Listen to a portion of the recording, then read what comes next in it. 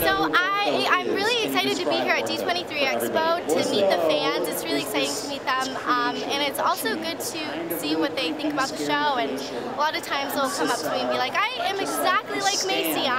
I am the Jonas Brothers' biggest fan, and you play her really well." So it's good to get that feedback. And what we would do is we would put Thanks, guys. In real life, I am the biggest fan of Reese Witherspoon. I completely idolize her. I think she um, has worked on really great projects, and I love the characters that she's portrayed, and I think she's amazing.